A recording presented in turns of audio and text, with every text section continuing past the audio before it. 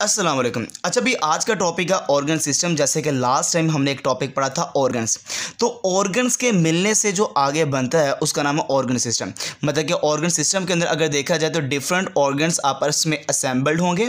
जो assembled together होने के बाद परफॉर्म करेंगे पर्टिकुलर फ़ंक्शन तो डिफरेंट ऑर्गन्स का मिलकर एक पर्टिकुलर फ़ंक्शन अदा करना। तो वो जो स्ट्रक्चर बनता है डिफरेंट ऑर्गन्स का मिलने के बाद देर कॉल ऑर्गन सिस्टम जैसे मिसाल के तौर पर रेस्पायरेटरी सिस्टम डिफरेंट ऑर्गन से मिलकर बना हुआ है। रिप्रोडक्टिव सिस्टम डिफरेंट ऑर्गन से मिलकर बना हुआ है। डाइजेस्टिव सिस्टम डिफरेंट ऑर्गन से मिलकर बना हुआ है। और सर्कुलेटरी सिस्टम भी डिफरेंट ऑर्गन से मिलकर बना हुआ है।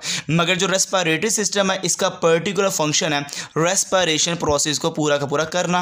रिप्रोडक्टिव सिस्टम का जो फ़ंक्शन है, वो रिप्रोडक्शन को करवाना। डाइजेस्टिव सिस्टम का है डाइजेशन में इन्वॉल्व होना। और सर्कुलेटरी सिस्टम जो परफॉर्म करता है फ़ंक्शन उसका नाम है सर्कुलेशन है। इसी तरह अगर ऑर्गन सिस्टम डिफरेंट मिले तो फिर जो एक जानदार बनता है, हम उसको इंडिविजुअल कहते हैं।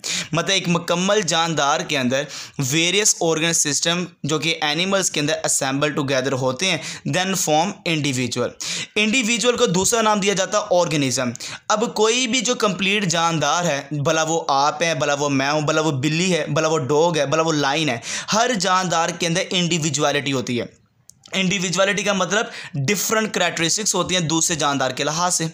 अब इसी के साथ साथ जो भी इंडिविजुअल होता है, इसके अंदर कोऑर्डिनेशन सिस्टम होता है among process functions and activities of the body जो भी जिसम के अंदर प्रोसेस चल रहे हैं या फ़ंक्शंस हैं, या जो भी बॉडी के अंदर एक्टिविटीज़ हैं, उन सब के अंदर आपको कोऑर्डिनेशन नज़र आती है।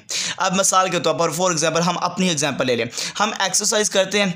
जब भी हम हार्ड एक्सरसाइज करते हैं तो सबसे पहले हमारी हार्ट बीट और रेस्पिरेटरी रेट इंक्रीज हो जाता है। और इस वजह से ब्लड सप्लाई ज़्यादा होता है मोर होता है टूवर्ड मसल सेल्स तो आप देख सकते हैं कि मसल सेल्स को ज़्यादा ब्लड सप्लाई करने के लिए रेस्पायरेटरी रेट मतलब रेस्पायरेटरी सिस्टम ने भी काम किया और हार्ट बीट और सर्कुलेटरी सिस्टम ने भी काम किया। तो ये डिफरेंट ऑर्गन्स के अंदर अगर देखा जाए तो आपको कोऑर्डिनेशन नज़र आ रही है। कि एक प्रोसेस को कंप्लीट किया जाए।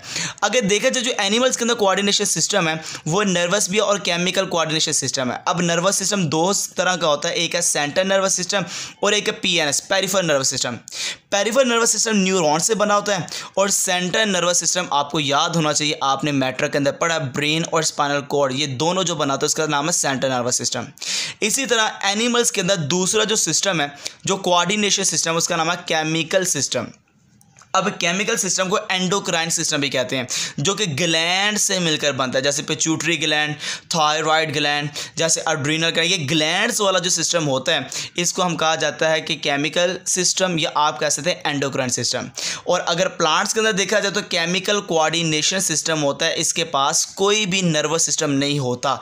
मतलब कि ब्रेन तो होता नहीं है स्पाइनल कॉर्ड भी नहीं है तो इसके पास जो कोऑर्डिनेशन सिस्टम है, उसका नाम क्या है? केमिकल कोऑर्डिनेशन सिस्टम है।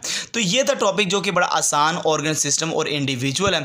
इसी तरह सारे के सारे लेक्चर्स अपलोड हो रहे हैं। अगर आपने कोई भी टॉपिक को सर्च करना है, आप टॉपिक का नाम लिखें और साथ में लिख दें अली अकेडमी आपके सामने वो टॉपिक आ जाएगा। और सबसे इंपॉर्टेंट बात, आपने एज इट इज़ ही पेपर में लिखना है इन आपके नंबर नहीं कटेंगे। ओके बेटा, अल्लाह हाफिज़।